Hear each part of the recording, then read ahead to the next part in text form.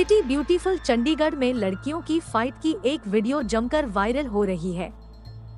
इस वीडियो में दो लड़कियाँ एक दूसरे को पीटते हुए नज़र आ रही है। एक लड़की तो दूसरी को इस घूंसे बजाती है, जिसे देखकर आप भी डर जाएँगे। खास बात है कि ये लड़ाई किसी अखाड़े या रिंग में नहीं, कॉलेज पर हो रही है।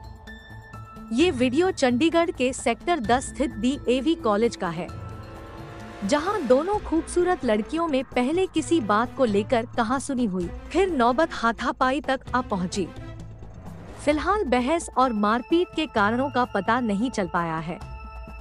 लेकिन इस दौरान दोनों लड़कियों ने एक दूसरे पर जमकर थप्पड़, मुक्के बरसाए और एक दूसरे के बाल खींचे।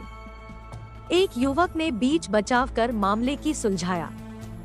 वहीं कॉलेज में हुई इस फाइट का वीडियो सोशल मीडिया पर वायरल हो रहा है। कॉलेज के ही कुछ छात्रों ने इस लड़ाई झगड़े को अपने फ़ोन के कैमरों में कैद कर लिया और सोशल मीडिया पर इसे वायरल कर दिया।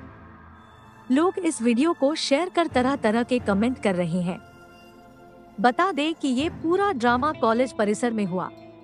फ़िलहाल झगड़े के कारणों का पता नहीं चल पाया है। आपको क्या लगता है पूरे मामले के पीछे क्या वजह रही होगी?